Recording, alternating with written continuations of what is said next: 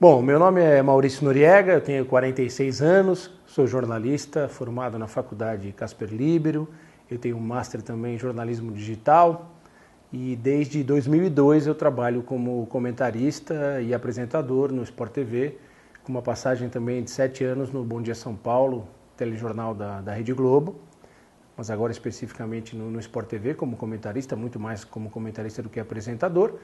E antes de começar na televisão, tenho uma carreira é, extensa já em jornais como Folha da Tarde, Diário de São Paulo, Gazeta Esportiva, trabalhos na internet, uma carreira já de, de, quase 30 anos, de 25 a 30 anos no, no jornalismo, a maior parte desse tempo no jornalismo esportivo.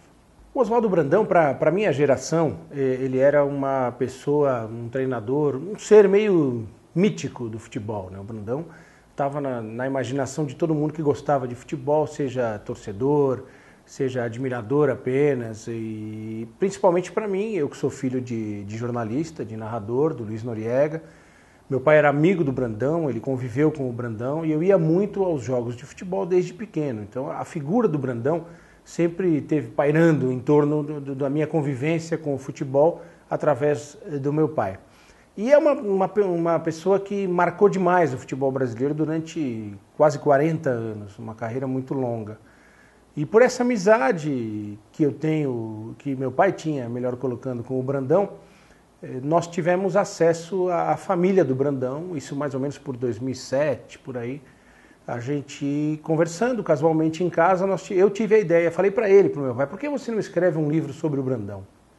Ele falou: Você escreve, devolveu para mim o desafio. Eu te ajudo nos contatos, em alguma coisa que eu puder ajudar. Nós fizemos contato com a Regina, filha do Brandão, e com o Paulo Guarati, um sobrinho do Brandão, que morou durante muito tempo com o Brandão e com a dona Luísa, a esposa dele. E aí nós tivemos, eh, graças a essa amizade, a credibilidade do meu pai, do nome do meu pai, nós tivemos acesso a todo o arquivo da família do Brandão e eu comecei esse projeto. Ele foi brevemente interrompido para que eu fizesse outro projeto para contexto, que foi o livro Os 11 Maiores Técnicos do Futebol Brasileiro, que tem um perfil do Brandão, mas em nenhum momento eu abandonei a ideia de escrever o livro do Brandão. E a partir de, de 2007 até mais ou menos o final de 2013, eu embarquei nesse projeto que foi muito prazeroso, eh, teve muitas dificuldades, porque várias pessoas já morreram, que conviveram com o Brandão, há uma, um período do começo da carreira do Brandão, da infância, da juventude, de, com pouco documento, com pouca, pouco acesso à informação, então é um trabalho de pesquisa. Eu gosto de destacar que esse não é esse livro ele não é uma biografia. Eu prefiro colocá-lo como um perfil biográfico. Acho que ele se encaixa melhor. Eu não sou historiador, eu não tenho formação de historiador, não tenho conhecimento, a técnica do historiador. Eu sou jornalista e eu usei as técnicas que eu tenho como jornalista para escrever um perfil biográfico do Oswaldo Brandão, publicado em livro. Eu acho que esse livro ele não está né, direcionado apenas para os torcedores do Palmeiras e do Corinthians, times eh, para os quais o Brandão seguramente, se não é o maior treinador, é um dos maiores treinadores da história. É um livro para quem gosta de futebol e para quem gosta de boas histórias. Eu espero que eu tenha conseguido passar para o papel uma boa história de um personagem espetacular, de um personagem fantástico. O Brandão, é, como ser humano, ele sempre foi muito mais elogiado do que criticado.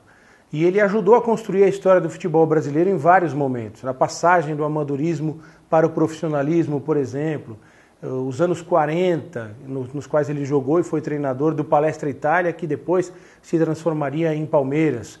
O Corinthians, por exemplo, como esquecer o fato do Brandão ter sido campeão como treinador do Corinthians em 54 e 20 anos depois manter o Corinthians na fila, deixar o Corinthians na fila no Campeonato Paulista de 74, treinando exatamente o Palmeiras, né? E três anos depois, em 77, tira o Corinthians da fila de 23 anos. Então são muitas histórias. E nesse período todo ele trabalhou na Argentina, no Uruguai, ele foi treinador da seleção brasileira algumas vezes, classificou o Brasil para a Copa do Mundo de 58, estava trabalhando para classificar o Brasil para a Copa de 78 e não teve oportunidade de dar sequência a esse trabalho. Eu acho que é um pouco a história da evolução do futebol brasileiro, contada por um personagem que teve papel fundamental dentro da política, dentro da, da do desenvolvimento de jogadores, da rivalidade Rio-São Paulo. Né? O Brandão sofreu muito por isso. Eu conto também no livro como isso funcionava, como era muito pior do que é hoje. Então acho que não é um livro que vai interessar somente aos torcedores do Palmeiras e do Corinthians. Interessa aos torcedores das outras equipes pelas quais ele trabalhou, na Argentina, no Independiente, no Uruguai, no Penharol, no Santos, no São Paulo, no Coritiba, no Cruzeiro, que foi o último, o último time pelo qual o Brandão conquistou oficialmente um título. Né? E as pessoas que gostam de boas histórias relacionadas ao futebol.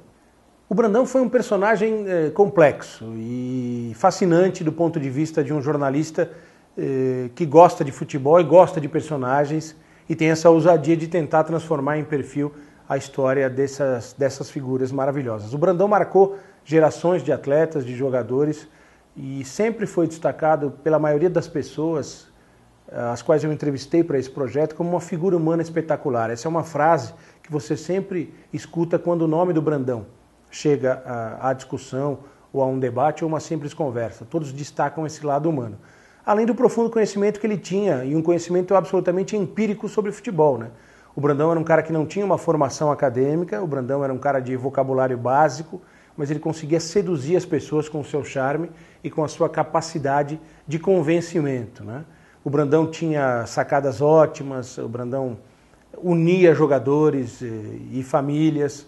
Ele, por exemplo, era um exímio churrasqueiro e através dos churrascos ele conseguia formar grupos, né? Muito parecido com o que a gente tem hoje com o Filipão, quando o Filipão fala de família escolar. Esse é um outro aspecto. Muita gente faz essa ligação do Brandão com o Filipão pelo estilo. O Brandão é um gaúcho de cidade pequena, cidade serrana, que foi tentar sorte como jogador em São Paulo, teve problemas físicos, teve que interromper a carreira e muito cedo se transformou em treinador e tinha uma, um interesse enorme pelo, pelo ser humano. Né? O Brandão era uma espécie de psicólogo sem formação, é, um médico sem diploma. Ele se interessava por tudo que envolvia o dia a dia do jogador de futebol. Desde saber como está a família, se está todo mundo comendo direitinho em casa, se precisa de alguma coisa, se interessar por um tratamento, é, interferir no trabalho dos médicos, dando sugestão de como fazer um melhor tratamento. Então, um personagem absolutamente fascinante e que inovou em vários aspectos no futebol brasileiro e deixou uma marca. Né? O Brandão faleceu em 89 e até hoje você escuta as pessoas falarem e falarem muito bem dele. Claro que tem gente que não gosta do Brandão, isso está colocado no livro, mas eu acho que a balança pende de uma maneira muito favorável a ele. O Oswaldo Brandão, como treinador, ele tinha sacadas é, maravilhosas. Né? Aqui no livro vocês vão encontrar muitas dessas histórias. Ele era muito preocupado com a maneira com que ele ia informar algum jogador que ele ia sair do time, que ele ia deixar da condição de titular para passar para a reserva. E tem uma história que está contada aqui, que não é exclusiva desse livro, também foi contada no livro do Raul Plasman, com o jornalista Renato Nogueira, que é muito interessante. Né? Basicamente, eu gostaria que vocês lessem essa história, eu vou contar é, alguns detalhes rapidamente aqui, do Brandão, que ele passa uma noite inteira conversando com o Raul, tomando uísque com o Raul antes de um jogo, e quando está acabando a madrugada já para anoitecer, ele conta para o Raul que, pô, Raul, você não dormiu a noite inteira, ficou tomando isso, como é que você pode jogar amanhã? Você vai para o banco, vai jogar outro goleiro. Porque ele já tinha isso na cabeça, ele estava preparado para isso e ele não tinha como chegar para o Raul direto e falar, amanhã você não vai jogar, vai jogar o de Pérez. Então ele criou todo esse cenário de uma conversa, de bebida, no quarto de concentração do hotel para dar uma preparada no clima para contar para o Raul. E ele tinha, muito, tinha muitas coisas assim de, de capacidade de convencimento, para jogador, ele falava para o jogador que era de uma posição que ele ia jogar na outra posição e falava assim para ele: Eu sonhei essa noite que você vai jogar nessa posição e você vai fazer o gol. E por incrível que pareça, muitas vezes acontecia exatamente. Não se sabe né, se em todos os casos o Brandão sonhava mesmo ou ele inventava essas histórias porque seduzia os jogadores. Os jogadores acreditavam muito nisso. O Brandão era espírita, kardecista, né, praticante, e ele usava um pouco disso no futebol também é, dizendo que recebia essas mensagens, tinha esse tipo de visão. Muitas dessas histórias são engraçadas e outras são impressionantes pela fé que ele tinha e pela coincidência dos acontecimentos que ele dizia que ele sonhava.